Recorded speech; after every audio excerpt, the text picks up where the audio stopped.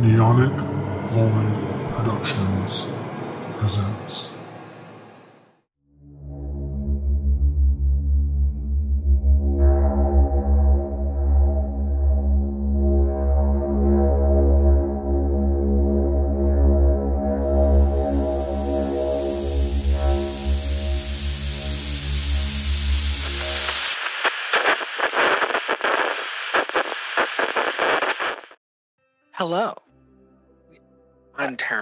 As you can tell, I'm terrible at these intros. Hi, welcome to House of Ideas.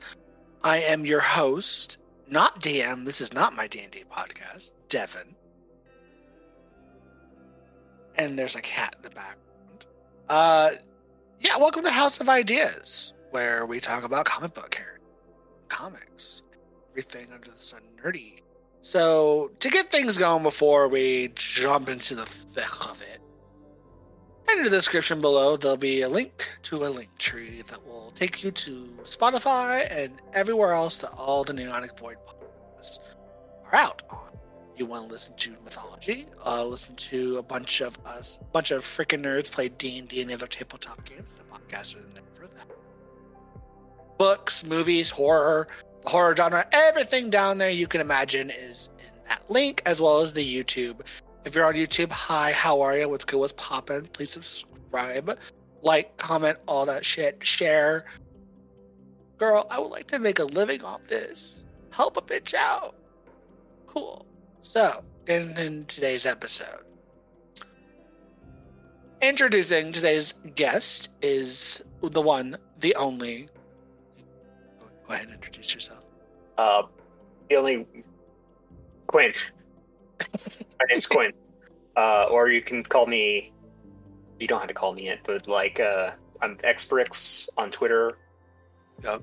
Um. Or I mean, the handle is BrickheadzX. It's it's weird. I want the brick the uh, handle's one thing, and then the name's another thing, and I. I'm I'm working on it. I'm sorting it out.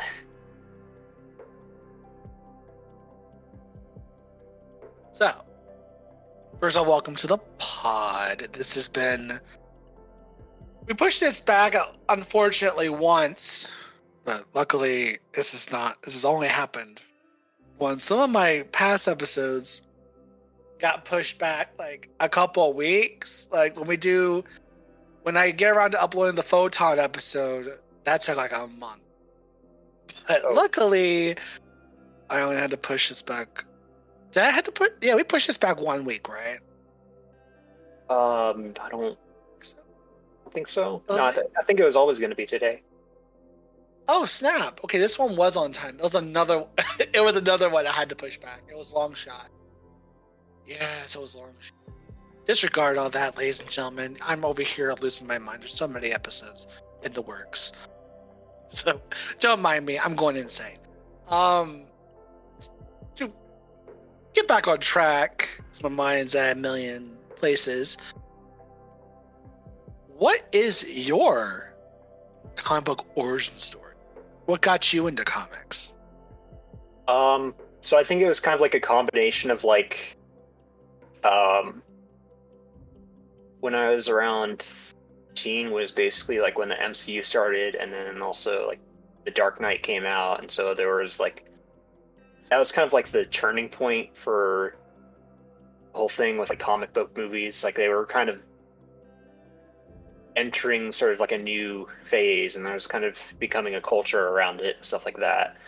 And so I wanted to figure that out, and I started to get into comics, and um, you know, there were kind of some false starts. Like I tried getting into Batman.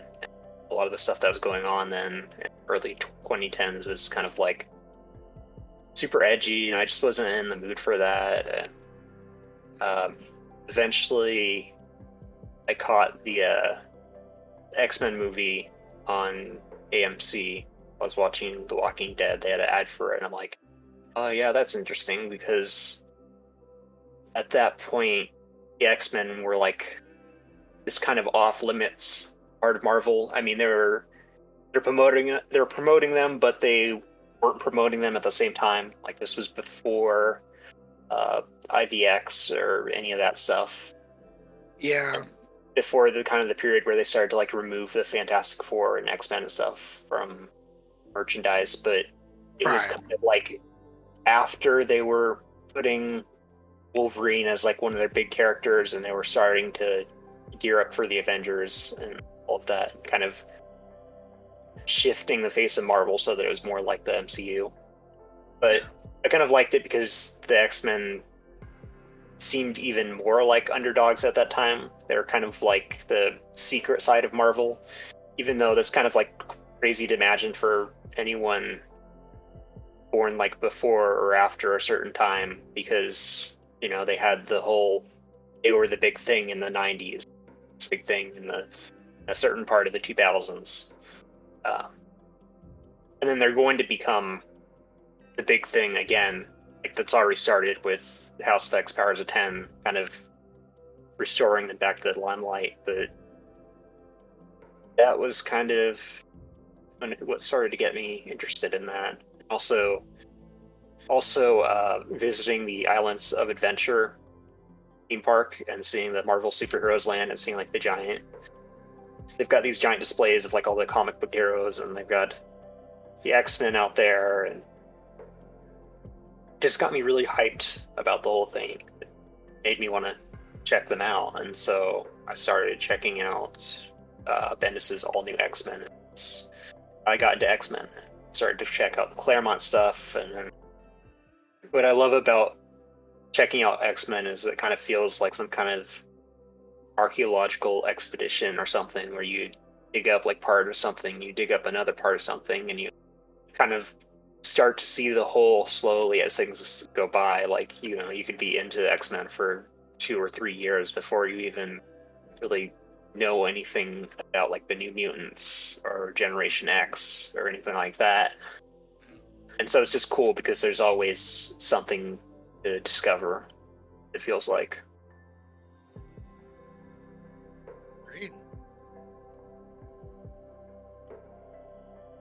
but that's that's how I got into it, and I kind of I'd, I'd say never stopped, but I think there was like a time when I kind of slowed down a bit, and then kind of got back into it around the resurrection period, where they're like, okay, yeah, we we kind of got a lot of backlash from kind of the push for Inhumans being a thing, Yeah. and like the comics weren't great then, but it was kind of like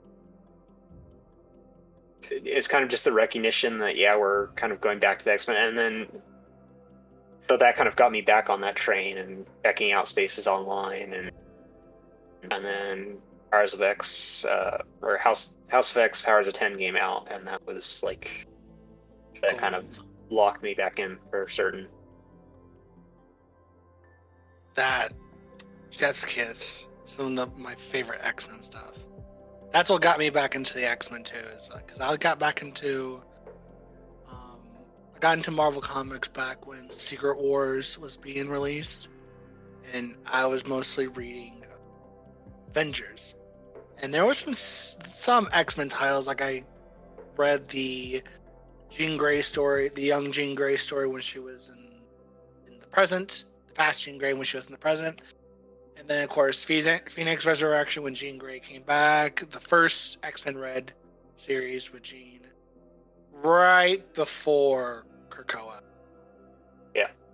So I was reading mostly like Jean stuff, and then Krakoa happened, and I'm like, oh, this shit is good.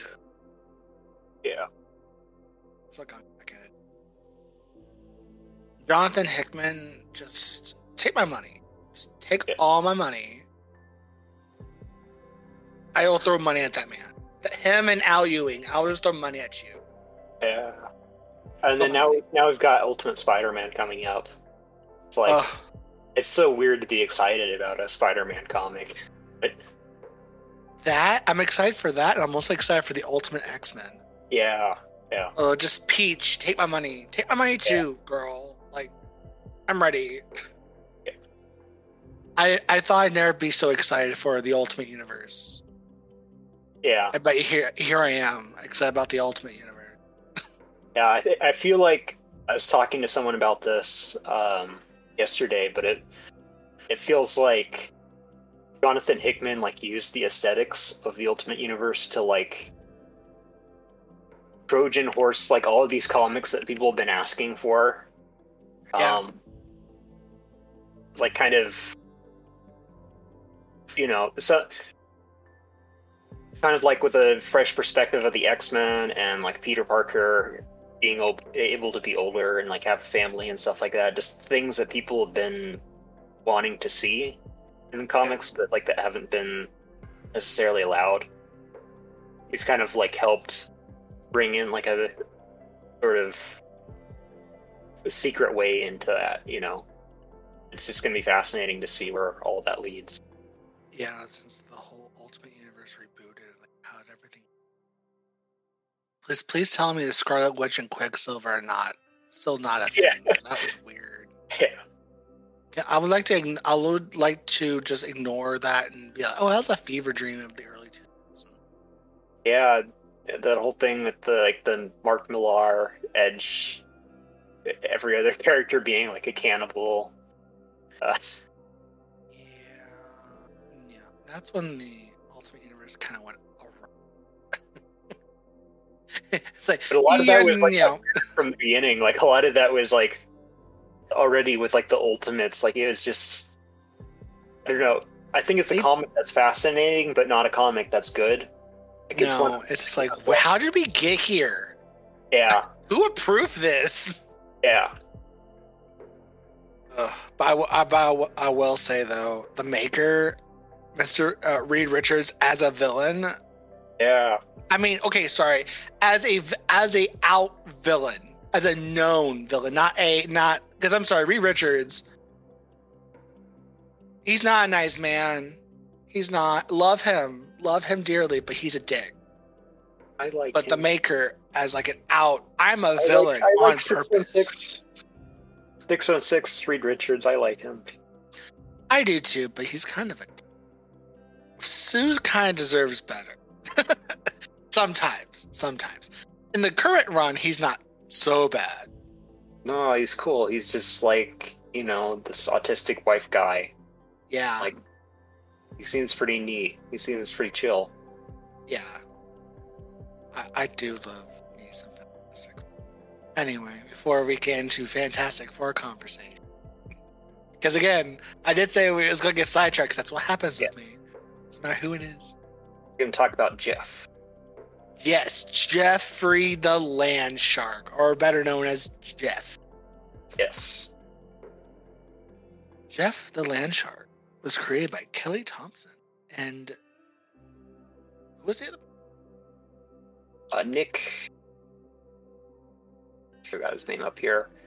Um. Nick didn't. No, Daniel didn't. Nick. Daniel did Nick. Daniel did Nicolo. I'm sorry, ladies and gentlemen. characters, and I'm like butchering his name. Butchering I'm sorry, name. ladies and gentlemen. We are butchering his name. We do not speak Italian. His name is your name is beautiful, sir. But if we mispronounced it, I we're so sorry. But Yeah. okay. So those two are the creator of Jeff the Killer and Jeff's first appearance. Jeff the Land Shark. Oh yeah, Jeff the land shark. Yeah, we can't we can't forget that he's a land shark. His first appearance was in West Coast Avengers Volume Three, Issue Seven. First shown in January 2019, so he's relatively new.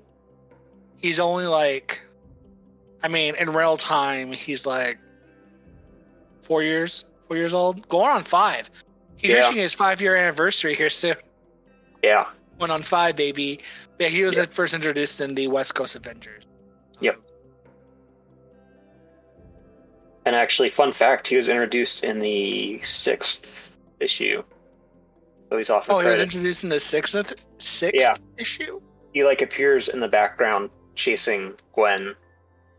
Oh, that's then- cute. But then Oh, you've got right, like yeah. a full conversation of like he's like properly introduced In the as seven. Jeff yeah. in seven. So yeah, yeah. You're right. You're right. You're right. I forgot he was in the he was in number six. He wasn't properly like named or formally introduced until the seventh. Yeah. and man, his design and in that and that comic was in the beginning before he got to, he, before he got the cutesy design he has now. It it looks like way different than it does now, Yeah, which isn't a bad thing. The design was kind of cool, but it's it's it's It such a a it changed a lot between then and what we have now with Jeff. Because now I want a plush of Jeff. He looks so cute. he's always cute. He's Oh yeah, most definitely. Um, but yeah, he kind of started out more like a lanky puppy, kind of was being his build. Um, and then got like one or two more artists after that on West Coast Avengers, I think, and so he changes over the course of the book. Um, let's see, are we gonna do it like complete chronological order, or are we gonna? Oh, we can do a complete chronological or like his story on like how how he um his appearances in West Coast Avengers and then go into other little appearances that are kind of like cool because he he makes a lot of cameos elsewhere, ladies and gents. So Yeah. he does. He's a he's a cameo. He's a cameo king. A lot Yeah. of the time, but the West Coast Avengers and then of course I think Deadpool are his main like ventures, and then of course he pops in like Gwen the Gwenpool series a lot. So let's see. We kind of start off with uh, West Coast Avengers, and from the first issue, that's where they established land sharks. Uh, the whole thing is that they're created by Brodok, who is MODOK, disguised as like this Bro, sort of bro, yeah. yeah, Uh, and love so, MODOK. yeah, he's got this new form with like a spray tan, and he's got a That's so and stupid. it's still slightly bigger than usual.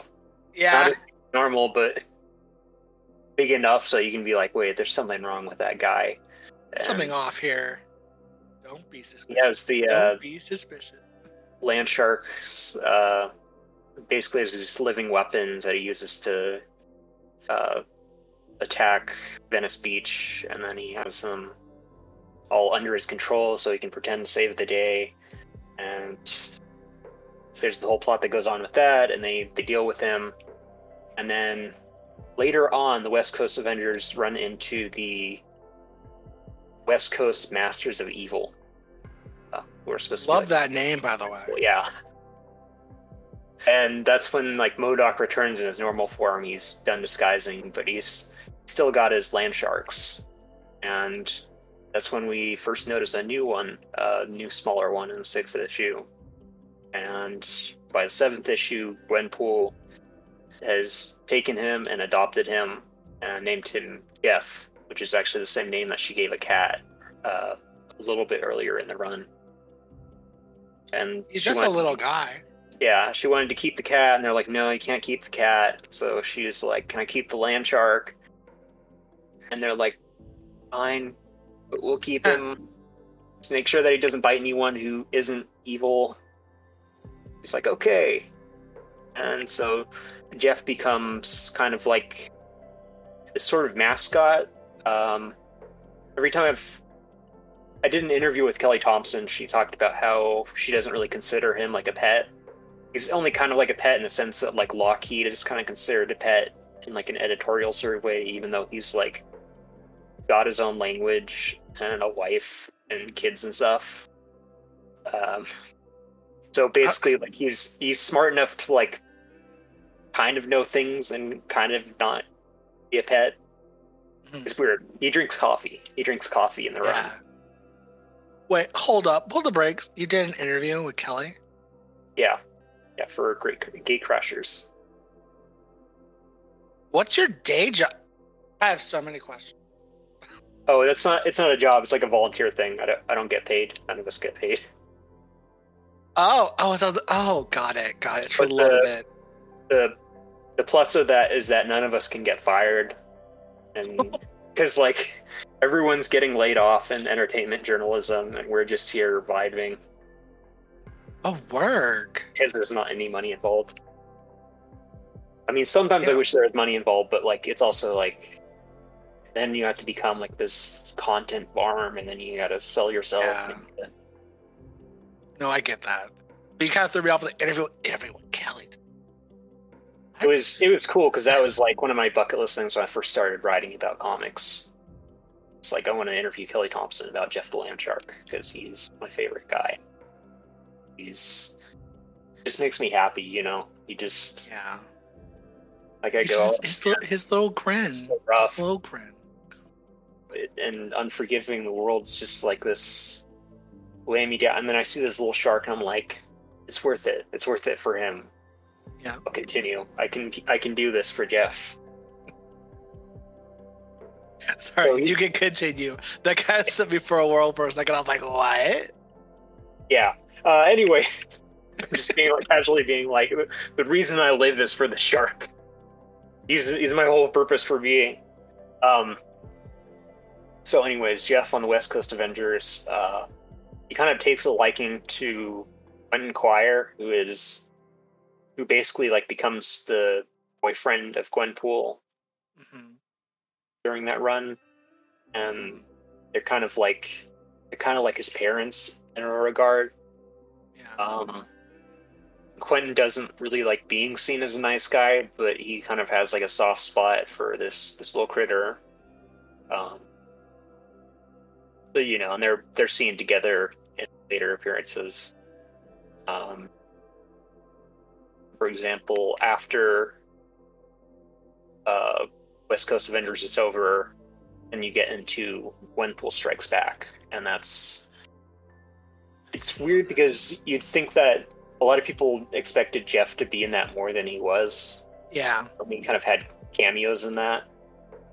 Um, because people often associate Jeff as being a Gwenpool character, but when it comes to like Gwenpool solo comics, he kind of isn't in them very much.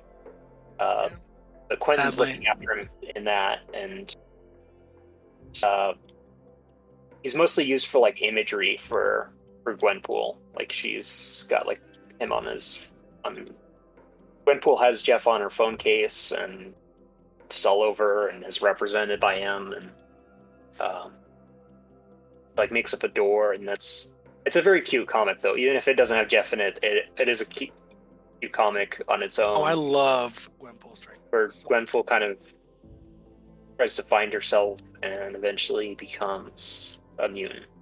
Whoever I can get my hands on to do do Gwenpool, it's it yeah, it's gonna be a fun episode. I I love. It. Yeah, I, I love Gwenpool. So if there's no one ever available, then I'd I'd do that one. I mean, you can take it.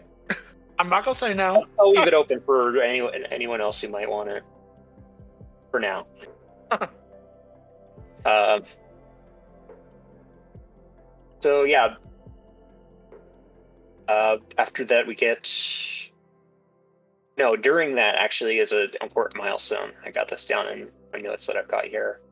Um, so, a variant cover for Gwenpool Strikes Back number one is actually the first place where Hiru, the uh, art duo from Japan, Mhm. um, they draw Jeff for the first time on that cover, and they're pretty much like the definitive Gwenpool artists. Um, so the artist on Gwenpool Strikes Back is pretty good. Uh, David Baldeón, I think his last name is. Uh, but anyways, Gurihiru draws this variant cover, and it's got Jeff on it. And from there, they start to draw Jeff into all their stuff because they like to do Easter eggs of the characters that they've done before. So, like, they do. They did the art on Unbelievable Gwenpool. So after that, they kind of snuck Gwenpool into like images and merchandise and stuff like that in their comics. And same thing with like the Power Pack. And uh, f- from this point onwards, because Jeff is kind of associated with Gwenpool and they're associated with Gwenpool, uh, they start to include Jeff and everything. So Jeff starts Mhm. showing up in things like Power Pack Grow Up as like a drawing that Katie Power drew, and uh, just in the background of like uh, Spider Man and Venom Double Trouble, and just everything that they work on, they they hide this little guy into the background, and so they sort of slowly become Jeff artists before they're even like tied specifically to drawing him like officially uh, Yeah. for any sort of project. And so the, between that, we also have a story that Kelly Thompson did uh, with Pepe Larraz on um, Marvel Comics 1000, which had a bunch of stories based on different anniversaries, and one of them was for the anniversary of Elsa Bloodstone. So Yes. Kelly Thompson, who loves Elsa Bloodstone a lot and like writes her into a lot of her stuff, like Jessica Jones and as we'll talk about later, Deadpool. Um, she includes a comic where Jeff is with Elsa Bloodstone. We kind of don't know why at the time, but then we kind of it's kind of explained like retroactively, I guess. Uh, later on, in the ne- next big chapter of uh, Jeff showing up, which is Deadpool, where Gwenpool steps in and she gives Jeff to Deadpool because she's worried about not having a series at the time. She's like, "Oh yeah, my series don't last for very long anymore," and so it's a very like sad and existential moment where she's just like, "I don't know if this little guy will get to continue to exist in comics as long as he's with me. So he needs to be with you, who has like this popular movie series and all these other things." Yeah. So she Very self-aware, and I love it. yeah.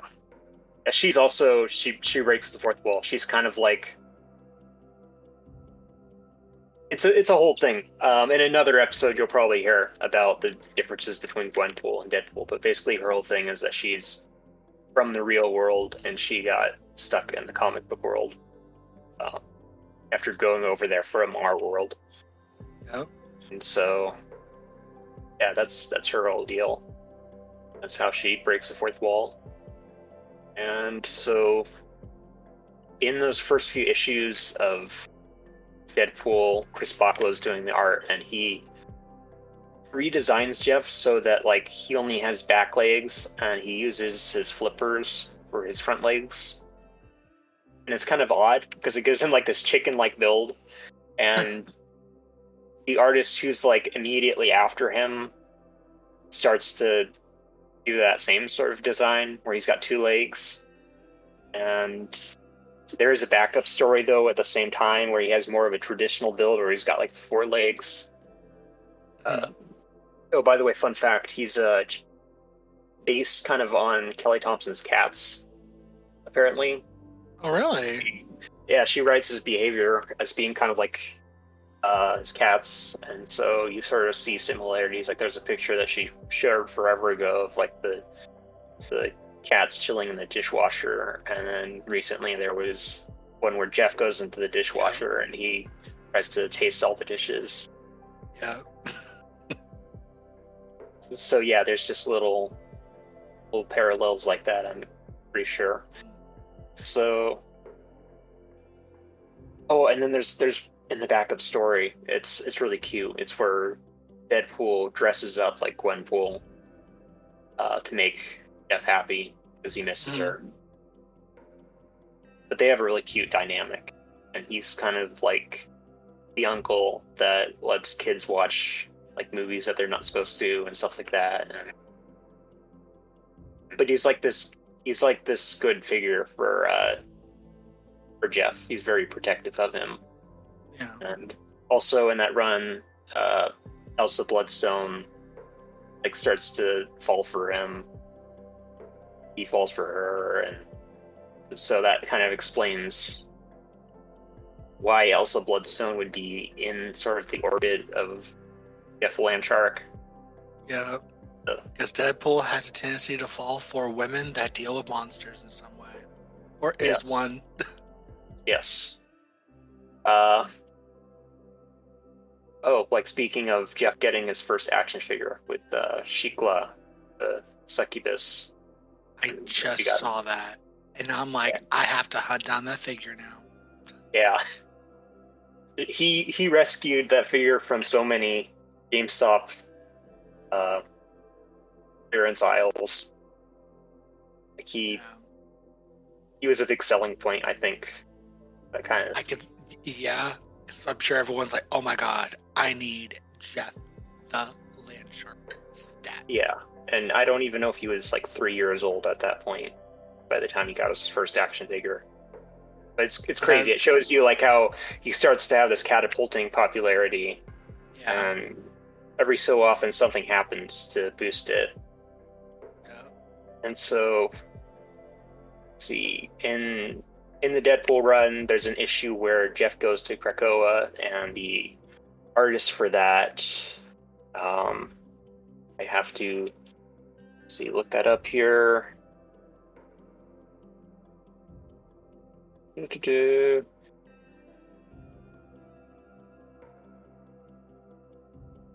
But basically, what happens is Deadpool goes to Krakoa, and he Jeff is brought with him. He doesn't try to bring Jeff there, but Jeff like bites onto his ass and goes there himself. And the artist is Kevin Libranda, uh, who draws Jeff as being a lot smaller and a lot more round, and he doesn't have the fins on the side, and he's got all four of his legs again. And basically, this determines what he looks like now. This is kind of the look that like ends up sticking the most for Jeff. So we we do get a few different looking appearances like between when that sticks and now. Um, but it's sort of like the genesis of this character's look. That's something that's always interested me, like character design, characters changing over time. Like for example, you've got Elsa Bloodstone. She looked like completely different Yeah, when she debuted. Like she was like blonde and stuff like that, and then yeah, uh, Stuart Immonen uh, brought her in for uh, Next Wave and completely redesigned her. Decided, you know, she should have red hair and have like the giant ponytail and the trench coat. And he just basically a- redesigned her from scratch, and that look stuck forever. such a good look too. It is. I, I do miss that they didn't translate that into the MCU. That she doesn't have like That's- a pony. That's true. I do agree with that. That they didn't transfer. That they should have transferred the ponytail. But at the same time, the actress that they got to play her, her acting Yeah. as Elsa, Yeah. I'm like, you know what? I'll forgive it. I'll forgive it. Yeah, and like the guy's like, "Oh, do you have the something?" She's like, "Have you tried checking up your own ass?" And like that's that's that's also Bloodstone. It's Elsa Bloodstone. No, I got. I can't wait till they bring her back. Yeah, I love them. I love Werewolf by Night. The the TV special, ladies and gents. If you have not watched it and you love the supernatural, ooky spooky part of Marvel, do yourself a favor, babes. Watch it. and also if you just like love like, classic Universal horror, it's like a big homage to that. You know, So the. Wolfman, Dracula, all that sort of stuff. Yes. Good. Uh, anyway, so yeah, we've we've got that whole Deadpool run going, and then repeat myself a lot. I think I say and then a lot. Anyways, anyways, uh, so the artist who was drawing him, like Chris Bachalo, starts to change him a bit so that he Yeah. has the four legs again. And also around this time, we get Gurihiru doing a print for a comic convention in Japan. Hmm. And it's got like all the women of Marvel. It's got Squirrel Girl. It's got uh, Spider Gwen. Got Gwenpool Yeah. in there, and Gwenpool's walking Jeff, and he's got his little vest, and he's got a leash and stuff like that. And that image kind of blew up a bit on the internet, and so that sort of uh, continued to solidify Haru as being the Jeff artist.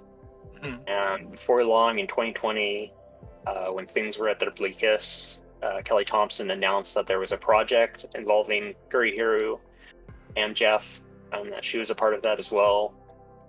And that turned out to be It's Jeff, which was Jeff's very own title.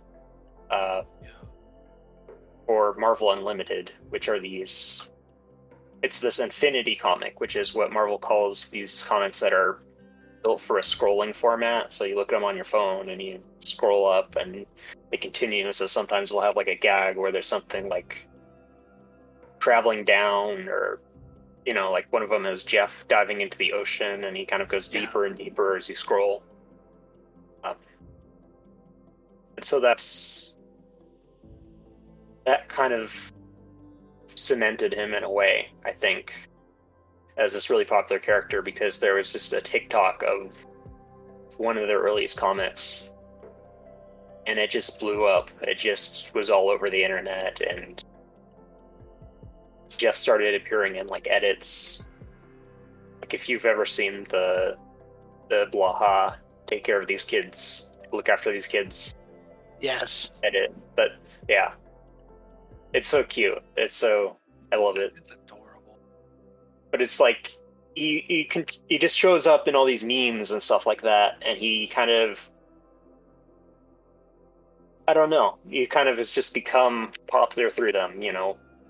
Yeah.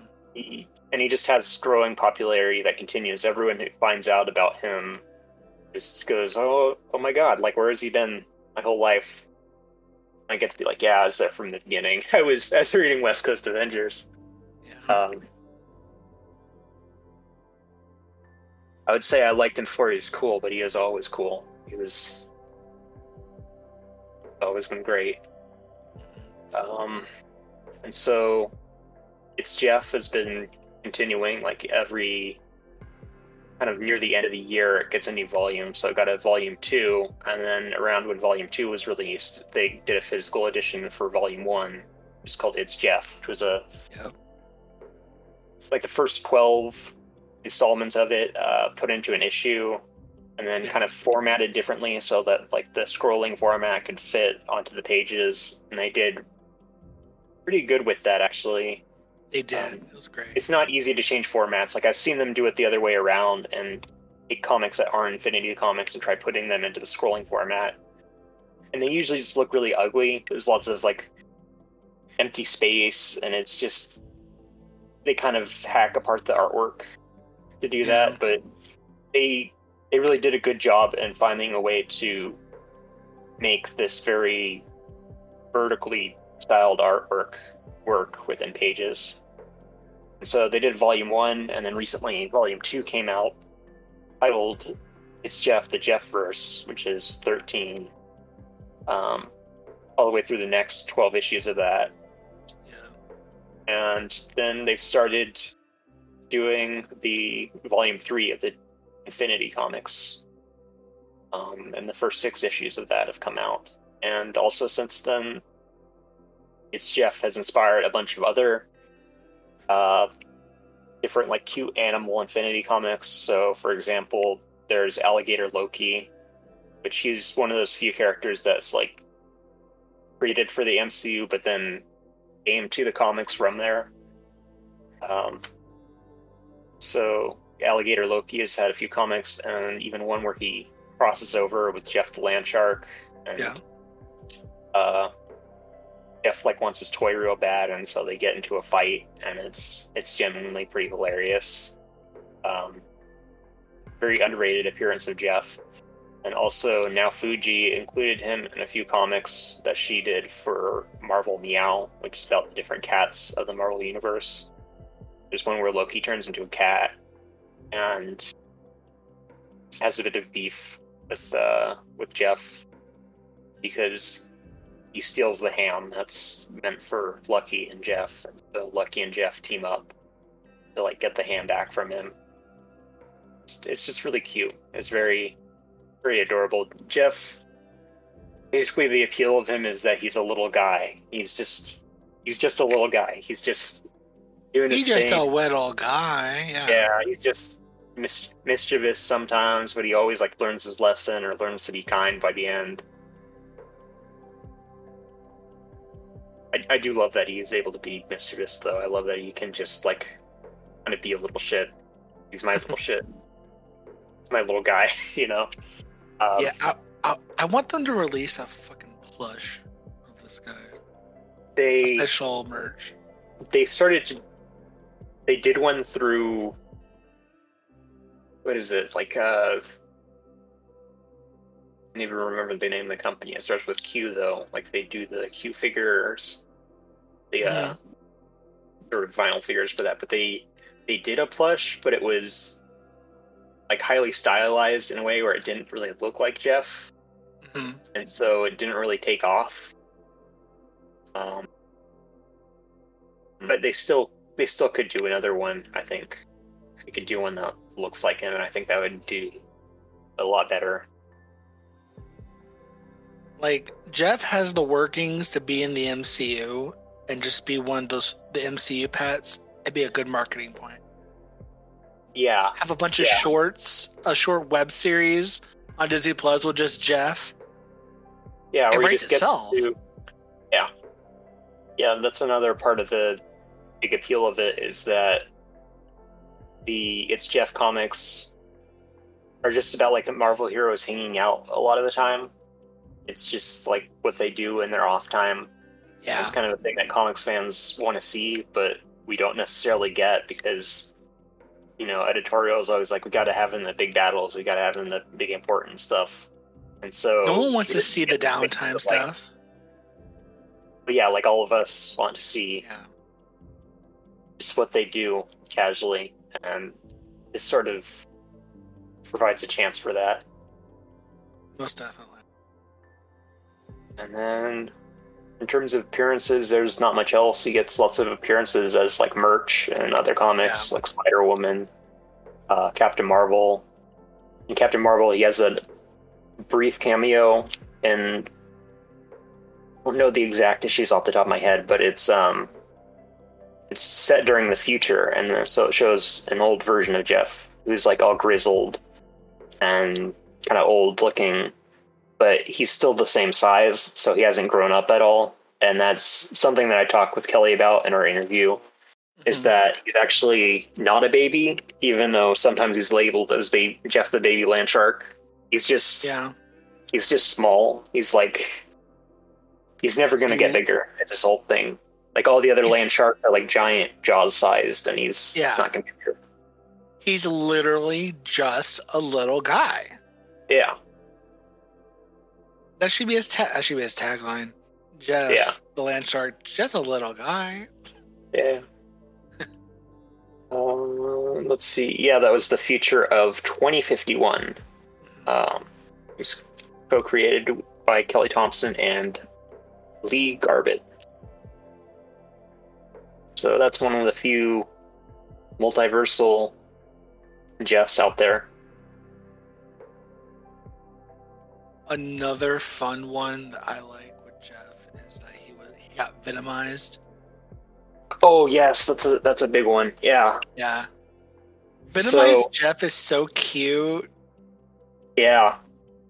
So first time he got a symbiote was in the last issue of Deadpool, which was a King in Black tie-in. They kind of had Yeah. to end it on a on a tie-in. So basically, the whole thing with those was like you can't touch anything that's gotten the symbiote, otherwise you get the symbiote on you. And Jeff tries biting it, and he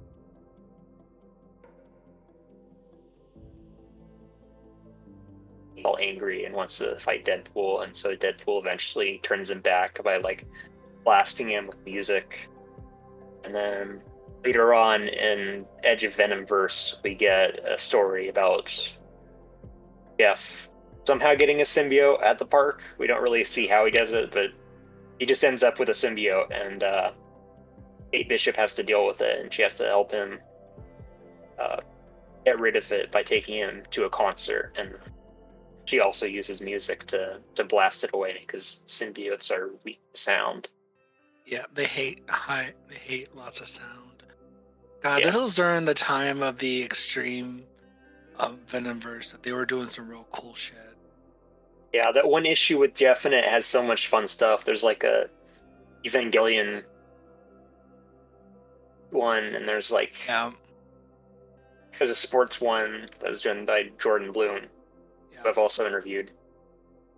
That was fun. Where it's like it, uh, Eddie Brock is like a sports journalist, and he's investigating baseball, and so there's a baseball venom. I do. I I, do them. love I like- multiverse stuff. I love it when they're just like, what if this character was a cowboy? What if this one was like steampunk or a pirate or My Something like favorite that. one was like uh, Venom if he attached himself to a magical girl. I was like, oh, those were fun. gold. Uh, I think there was one I was also like a priest. I was like, oh, this is some good shit. Yeah. Yeah, that But, uh, was. So my whole but yeah. idea for uh, multiversal Jeff is like, what if there's one that was like a hammerhead? Oh, And what if that was like ultimate Jeff was just like a hammerhead land shark? And so he's basically like exactly the same, but he's got a different looking face. oh, that would be so. That'd be lit. Marvel, do it, please. Just, just do it. Make Jeff every universe be Jeff, but a different type of shark. Yeah. have a multiverse story, the multiverse of Jeff, and it's just like Jeff meets all these different versions of him that are just different types of sharks. Yeah. It's kind of inspired by like I don't know a lot about DC, but I do know that like they King Shark looked a certain way, and then when they did the Mhm. new fifty two, they're just like he's a hammerhead shark now. Yeah. It it was either that or some other reboot, but somehow they made him a hammerhead shark and then they went back on that afterwards. Yeah. He looks better as a great fight, but it, it is just funny that there's just another version of him that's a hammerhead. So it'd be funny if they did that with Jeff too. I think it'd be a great idea. Just have like have a line of merchandise where it's like figures, Funkos, plush of all these different types of Jeff, and they're all different shark, different types of sharks. Yeah. I think uh, again, the money will just roll in itself. The nerds will buy it Yeah. if they're good. But what happens is like a lot of time they like quietly drop it. Like uh Jeff got his first appearance as a Funko.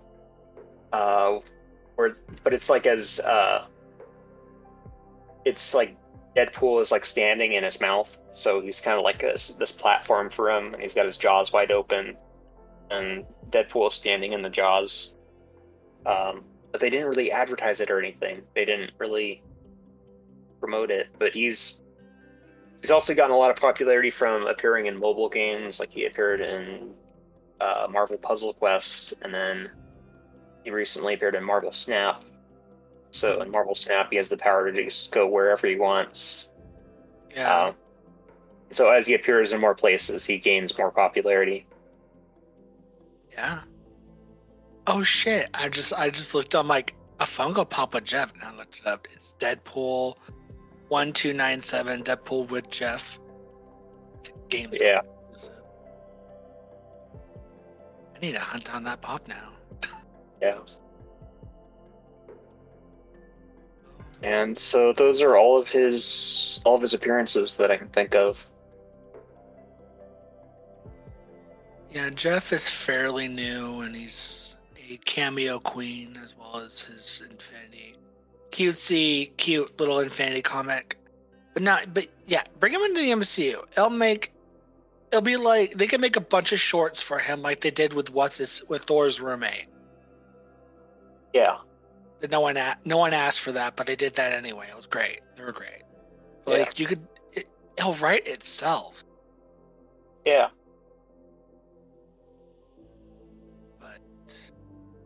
I'm hoping Jeff continues on and they actually. Uh, I mean, obviously, I want them to continue the Infinity comic because the stuff is just adorable. But I also kind of want him to be brought back into like a main series line and have to be like a big part of a series Yeah.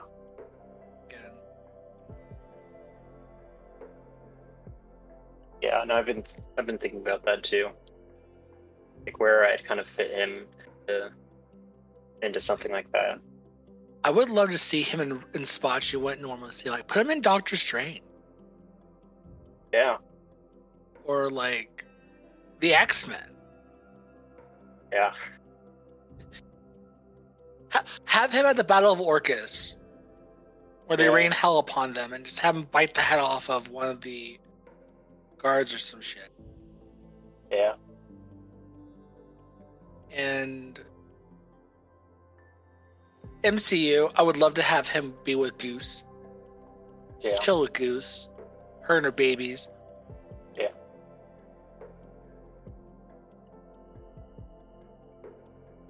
I mean, Uh, People have suggested like maybe if he appeared in Deadpool three, which could yeah. happen. I mean, that could happen. That could be, I could see that. Because I mean, they're bringing in literally everybody under the sun that's not part of the main continuity of um, the MCU. Yeah. I mean, they're bringing back Elektra for God's sake.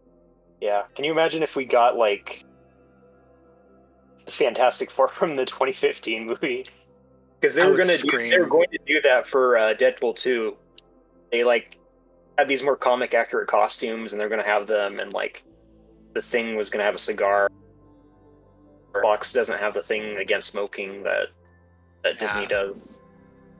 Uh, so that would have been like the last chance we would have had to have like a, one of the characters that smokes a cigar a lot have a cigar. At least it allowed bad bad guys to do it. It should allow like Kingpin to smoke again, but I don't know. I digress. think- I would not be surprised if they did because they're literally bringing in freaking Jennifer Gardner. Play Yeah. Elektra. for God's sake. Elektra of all people. Of from Daredevil all things to pull Elektra, from. the film. all things pulled from the film Elektra would of all things. Uh, when I heard first heard about that and seeing the images of her on the in the um on set, I was like, you know what, anything's possible now. Yeah, So, and I mean, there's also there have been rumors that Fantastic Four, the Jessica Alba, all th- that group, yeah, are rumored to be in the Deadpool three movie. I'm just like, oh please.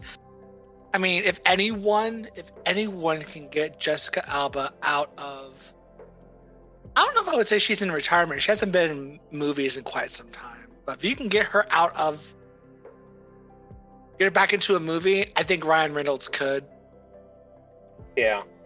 So, I mean, Ryan Reynolds, he can work some magic. Yeah. I mean, there's also that that freaking rumor that um, again, side note, but there's also that rumor of uh Taylor Swift playing Dazzler. Which a lot of people said no, but I've kind of, I don't know. I feel like kind of Dazzler has become like Taylor Swift over the last like decade, Yeah, kind of just as like the modern pop star, like the modern face of pop, like the last decade. That's kind of like what Taylor Swift has been. yeah. No, you're right. I'm not opposed to it.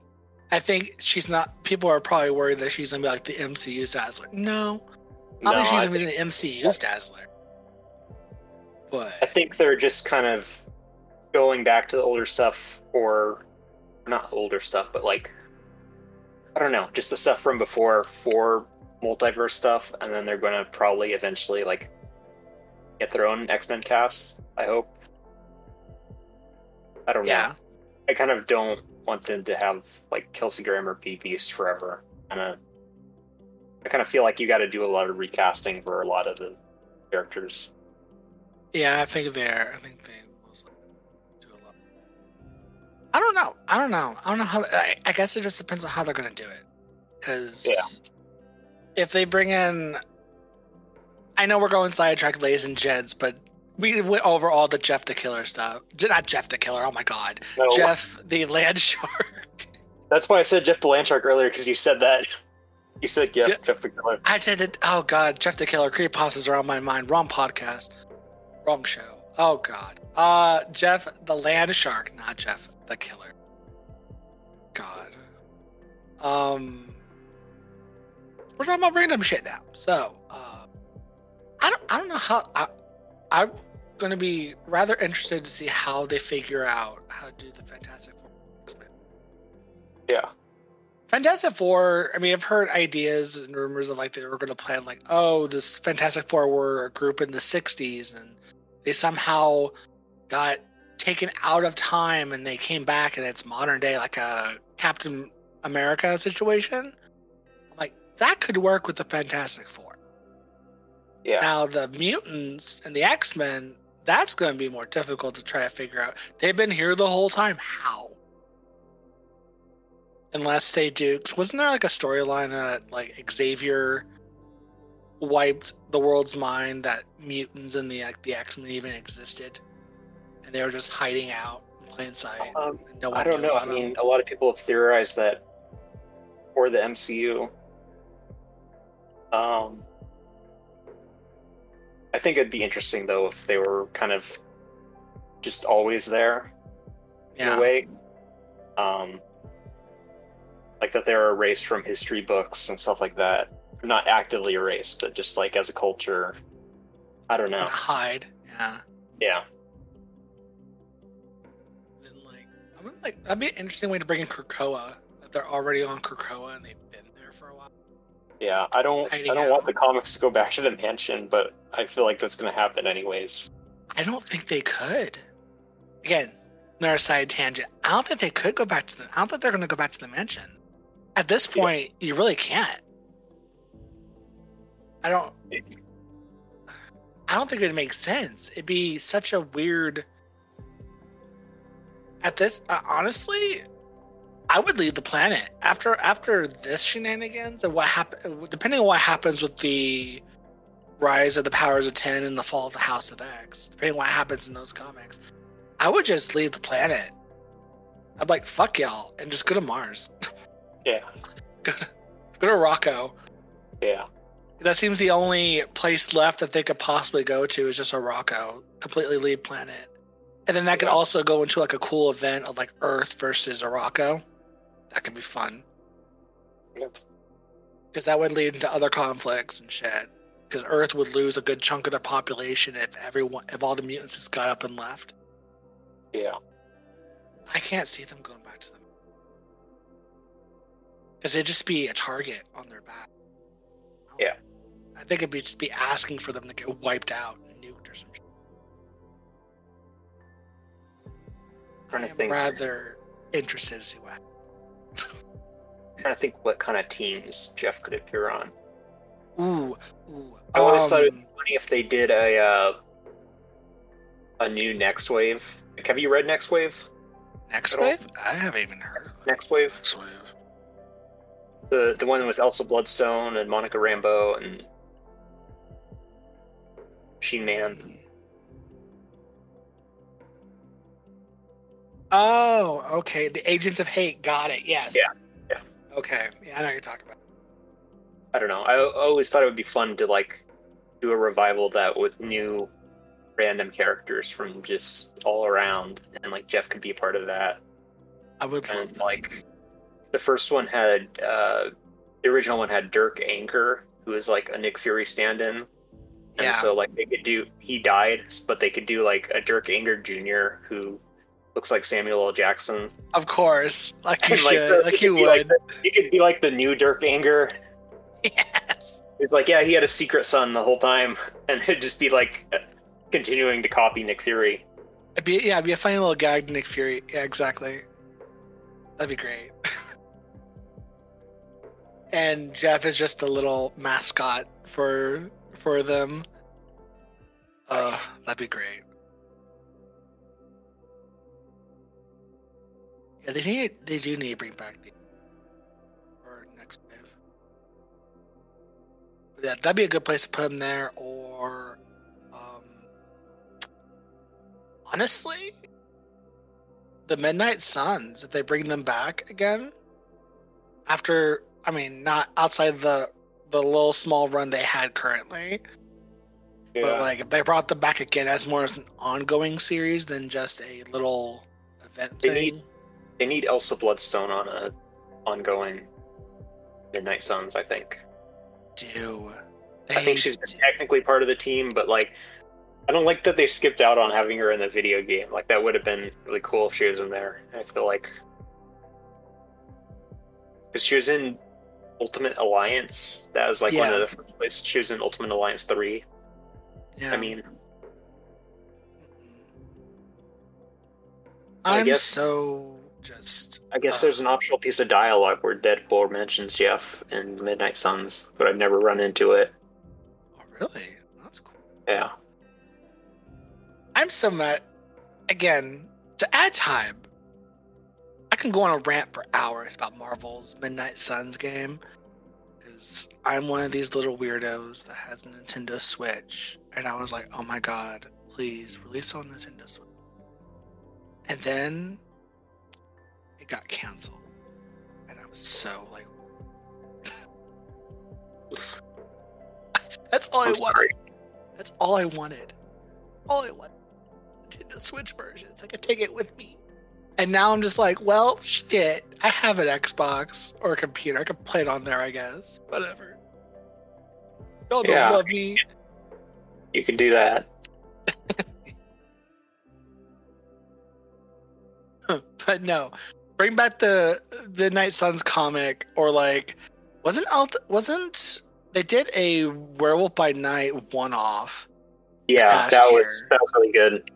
I reviewed that. Yes, uh, so good.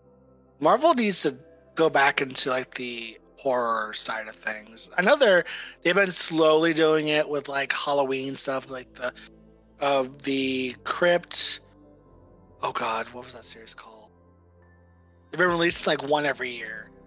Um, the Tales of the Crypt. Is that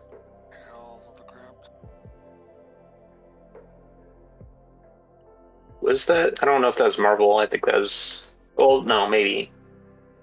Uh, I'm gonna look it up. I won't get the proper name for it because I, I don't think it's Tales of the Crypt, but Crypt's in its name. Crypt of Shadows. Yeah. They've been released. They've been releasing one like every year for the last couple years, and it's just like make an ongoing of Crypt of Shadows. That would be lit. Give us the horror. Bring back Man Thing. Constantly, like these are characters that they're not utilizing, and I know they're trying to get interest into them. Hence, why they're doing all these little one-offs that they're releasing every October. And of course, with the whole Crypt of Shadows, and then the Werewolf by Night, and bring in Elsa Bloodstone and like the Deadpool series and a few other things. They're they're like they're, and of course the Blade series, which if any of y'all have not read that, do yourself a favor. It's good. Like they're they want. It seems like they want to see if everyone has interest, and like I don't know if people care because I do. I love the horror side of Marvel. That shit is my is like my bread and butter. Like the um again, they were kind of ta- they were kind of teasing it with us too with the whole uh Incredible Hulk run currently going on. The first I think it was like the first four or five issues. I don't know if they're I haven't caught up, so I don't know if they are continuing on with the Mother of Monsters story. Yeah. But that shit was creepy. Like, ah, yes, give us the horror. Yeah. Because the the And then monsters. X Men looks like it's going to be all kinds of body horror The what? sort of stuff. Uh, Ultimate X Men, Oh yes, exactly. like from the previews, like she like pulls the armor like out of her out of her head. Like it's there, and they look like, and they're doing it on purpose. It's, I think they're trying to gauge the gauge the room, but like there are people here that are wanting it, that have been wanting it. Yeah. Just give it to us. Yeah. Also, Bloodstone deserves her own series. Period. Where's Dracula? Why ha- why haven't we seen any more stuff since the Exterminators series, Yeah. miniseries? That was good. I want more of that. So good. I scratch that. I'm lying to myself. I totally forgot. They are doing that vampire event thing next year for Marvel, and that shit looks good. Yeah. I shouldn't say that. Dracula's probably going to be a big part in that. So you know, at least they're try they're trying now. I take Yeah. back what I said. Y'all y'all are listening. Y'all, it- it's there.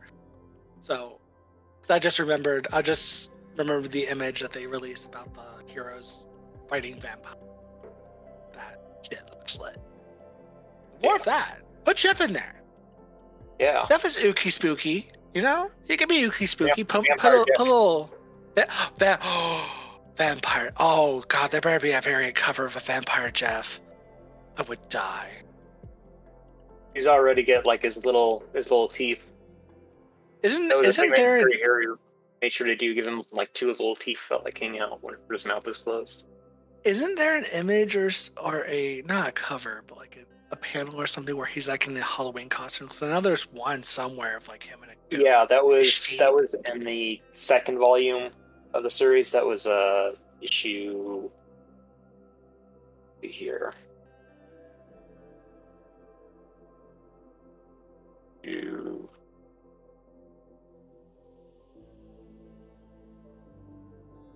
Uh, it is past twelve. It's like I don't know, Yeah. thirteen or fourteen or something like that.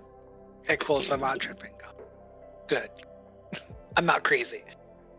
But yeah, it's, No, it's him trying on all the different costumes, and then like, they accidentally end up looking kind of creepy, and then so he ends up wearing a shark costume over That's his right. regular, regular shark body. This is very he's very proud of himself.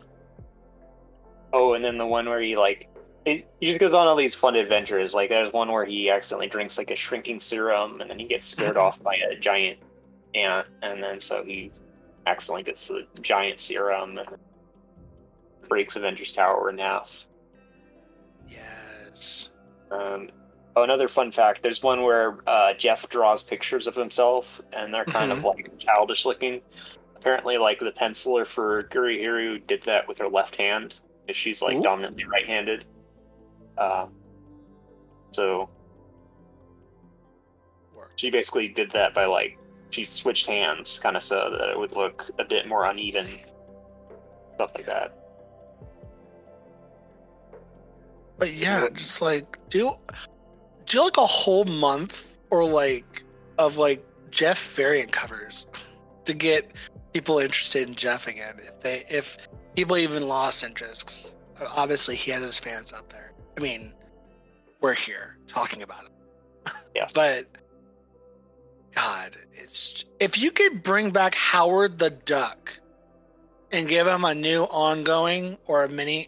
I can, I don't know if it's ongoing or a mini, but he has like a new number one that came out last week at the time of the recording. Is recording. Yeah. If you could bring back Howard the freaking Duck when no one's talking about Howard the Duck at all, come on.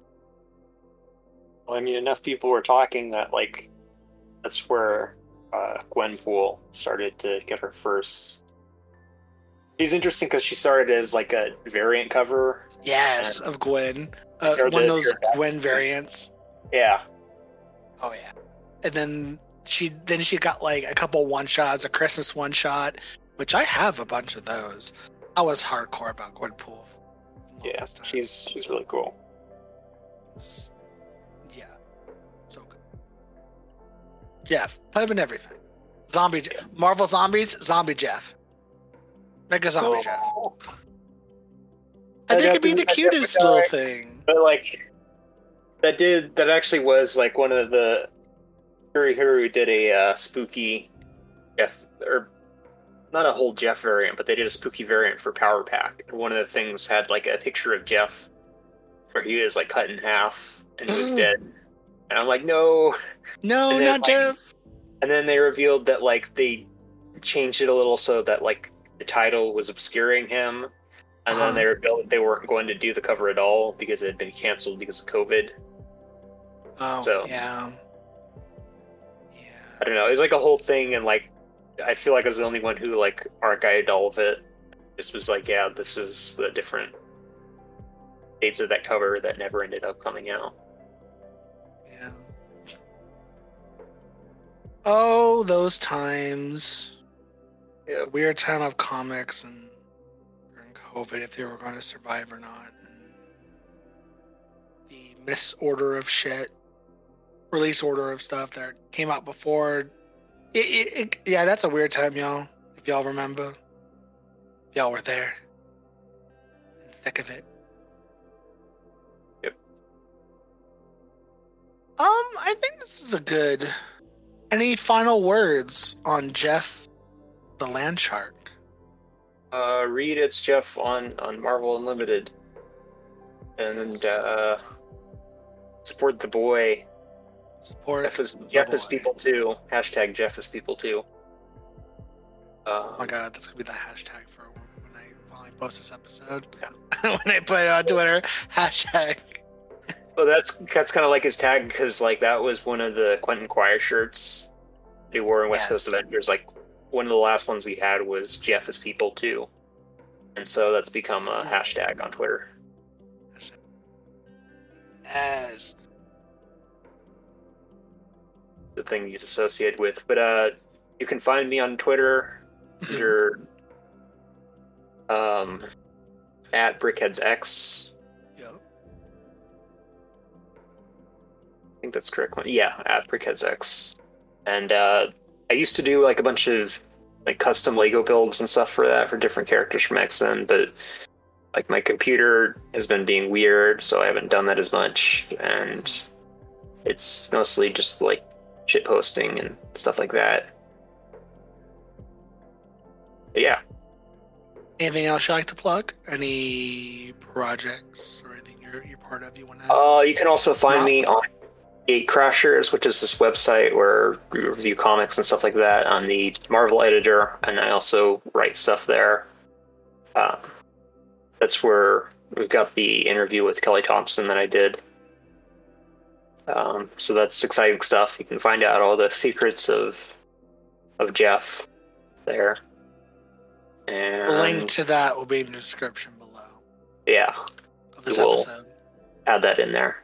Yeah. There's all kinds of there's all kinds of good stuff. We just talk about like everything, and we've got all kinds of reviews and retrospectives and stuff like that. I've got a big thing on there about um just trivia about Jeff, about how about him like not technically being a baby and kind of like where they explored that in the comics and various militia but various pieces of uh trivia there. Work. Again, description, the links to all those will be in the description below if you want to look further. You want to follow him on Twitter or look further into the knowledge of Jeff through that article and that interview. So, thank you, and for joining me today talking about Jeff the Land Shark. Oh, thank And you. again, I could set Gwenpool aside.